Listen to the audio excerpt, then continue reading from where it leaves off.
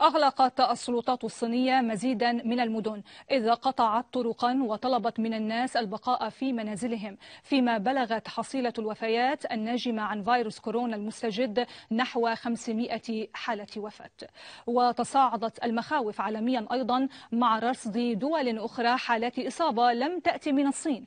وتأكدت إصابة عشرة أشخاص بالفيروس على متن سفينة تخضع لحجر صحي قبالة سواحل اليابان. ماذا فعل المتمرد كورونا في العالم ليدخله في نوبة هستيرية ويقلب موازينه؟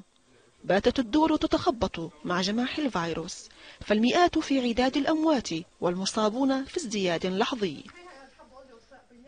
تايوان واليابان اختارتا منع رسو سفينتين تقلان آلاف السياح في موانئهما بعد التحقق من إصابات على متنهما. إجلاء المواطنين من ووهان الصينية كان خيار دول عدة كان آخرها نيوزيلندا وتايلاند. أما إغلاق المعابر والحدود البرية والبحرية فكان خيار هونغ كونغ مع الصين. بينما اتخذت كل من روسيا وكوريا الشمالية واليابان إجراءات أمنية صحية صارمة.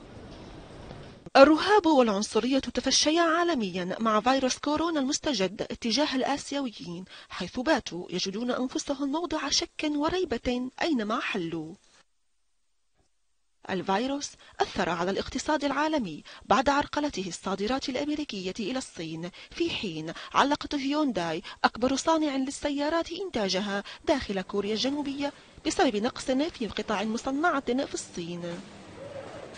زعزعة إنتاج النفط عالميا حيث تعد الصين المستهلك الأكبر مما دفع منظمة الأوبك المصدرة للنفط لدراسة خفض إنتاجها بعد تهاوي الأسعار منذ بداية العام الحالي.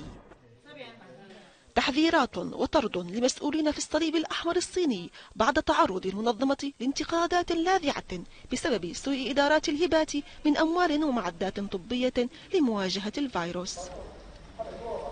كورونا. دخل الملاعب كذلك مجبرا الاتحاد الآسيوي لكرة القدم على إرجاء مباريات الأندية الصينية. رغم الإرباك الدولي الذي أحدثه الفيروس إلا أن منظمة الصحة العالمية قالت إن كورونا لا يشكل وباء عالميا. في حين تسابق بكين الزمن لتشييد مستشفى آخر مماثلا لمشفى ووهان الذي شيد في غضون عشرة أيام.